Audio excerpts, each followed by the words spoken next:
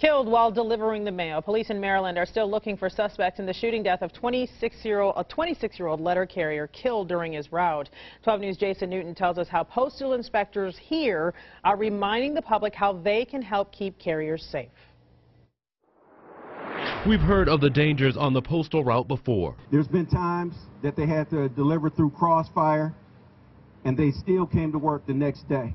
Chilling words from Milwaukee's postmaster last month, not knowing of the violence that would erupt in this quiet Maryland neighborhood Saturday where a mailman was shot and killed on the job. They're doing their job, and for the people who who become victims, it's very serious for them. So, area postal inspector Brian Haraway says that the program highlighted in this rally back in October is even more relevant now, getting the community to support the Safe Haven or Carrier Protection Program, making homes safe places for letter carriers to avoid danger. That means the carrier knows that they can go in that house, use the phone, call the police, whatever they do to, you know, just, just stay safe. Generally, mail carriers have been safe in Milwaukee neighborhoods as they go door to door, but inspectors say they have had incidents, but they have not been frequent.